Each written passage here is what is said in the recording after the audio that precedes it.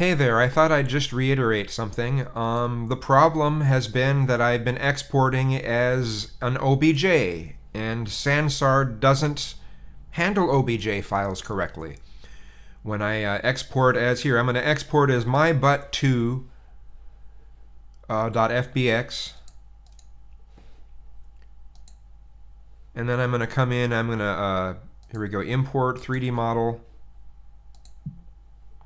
mybutt2.fbx import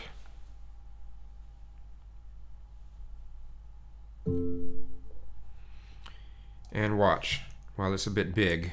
I need to change that.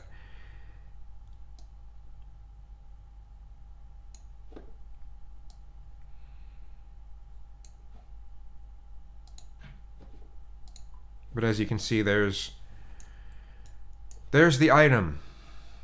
So it was a problem with Sansar more than it was uh, anything else. So now I obviously am not going to really use this. This is just it's just a text a test texture. But uh, that's what was wrong. So yeah, don't don't export as an OBJ. Export as the as uh, the uh, FBX. Ex- export as an FBX instead.